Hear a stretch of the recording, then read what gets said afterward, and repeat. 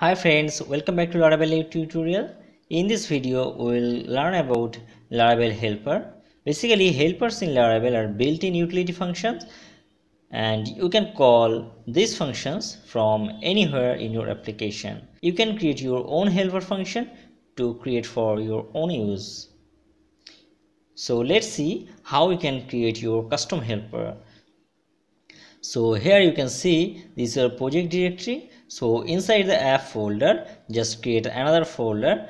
That is the new folder and create another folder.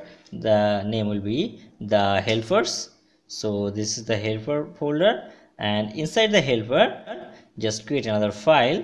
That is myhelper.php okay? So this is my custom helper. So we'll create some functions and we will call from our controllers or anywhere from your application. So use the php tag and create one function that is function. And suppose my function name is get text. So if we call the get text method from anywhere your application you will get this output. So the output will be suppose i am writing the return and the text is learning points youtube channel. Okay so this is my function.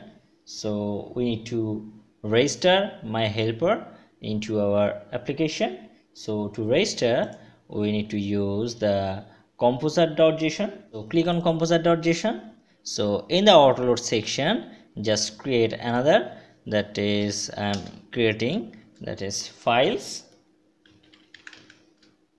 and creating an array. And inside the array we just need to provide our helper path. So my helper path is you can see so my app helpers and my helper dot php. So just write it app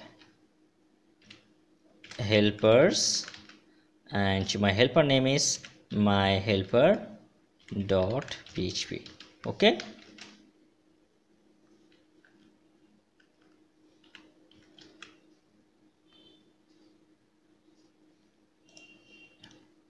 So our helper is registered in our composer.json so we need to autoload our composer. So we need to use composer dump autoload just enter this and it will saying the generating optimized uh, autoload files. Sorry uh, i am using the get text function. That is already a library function so we need to change my name of the function.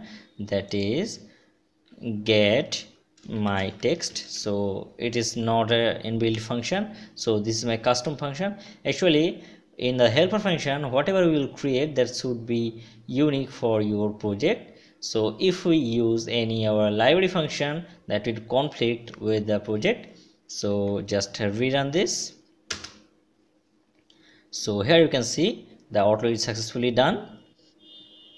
And now let's use this helper inside your controller. So create a controller file and we'll call helper function from there. So create one controller. To create controller going to use php artisan make controller suppose my controller name is helper test controller. Okay. So controller created successfully. So just go to the app http controllers and here you can see your helper test controller. Okay. So now now create one function that is public function. Suppose my function name is check helper so this is my function from this controller. So here i am calling the helper function. So very simple. Just click on the get my text function and paste it here. So if we run this we will get this. So i am taking this in a variable. That is value. And I am returning this value. So when you run this check helper function it will return this value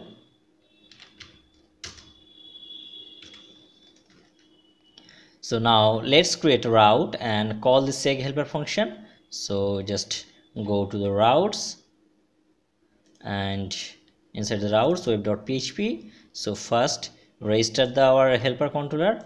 So copy the namespace.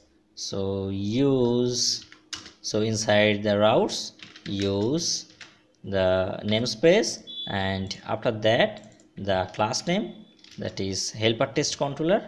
Okay and now I want to create a route. That is suppose I am creating a route and get suppose my URL is test helper. Okay. And after that we need to call the controller and colon colon class. And finally I need to call the method's name. So here my method name is check helper. Okay so now let's run the test helper url from browser. So go to the browser and just enter the test helper and refresh. So before that we need to run our server. So to run server we need to use php artisan serve okay? So server running and just refresh this page. So here you can see the output is learning points youtube channel. So let's create another helper function and we'll pass value to that helper function. So how can you call this?